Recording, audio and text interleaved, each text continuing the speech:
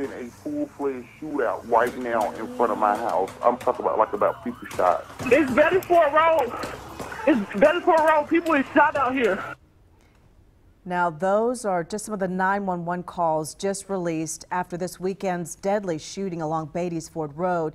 Despite several calls to 911 from that night, police told us today they are still having to urge witnesses to come forward.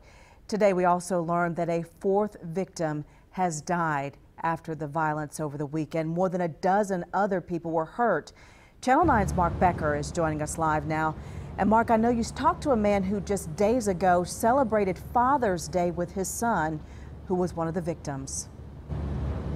Yeah, Erica, and it has been tough on him and on other family members here. It's something that police keyed on when they gave us a briefing, an update on their investigation earlier today, saying they are determined to find the shooter or shooters involved here to bring some measure of peace to those families before they have to start burying their loved ones.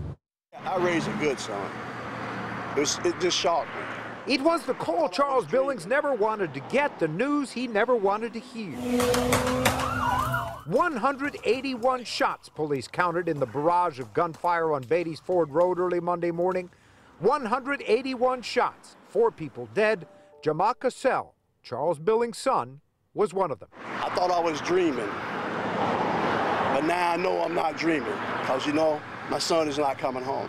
We understand that they are in a lot of pain. They are truly hurting. Today, Deputy Chief Gerald Smith said police have gotten calls and videos from people at the scene of the shooting, but not enough yet to make any arrests in the case.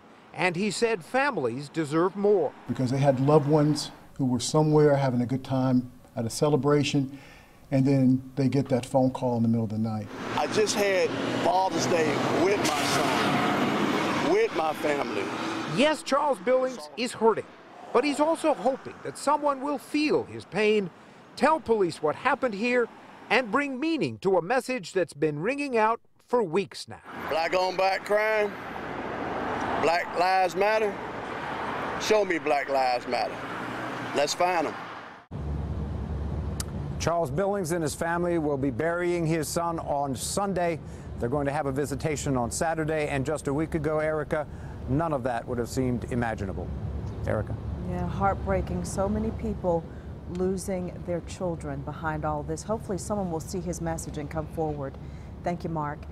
We want to show you another look at the video. As Mark said, so far there have been no arrests made after this incident.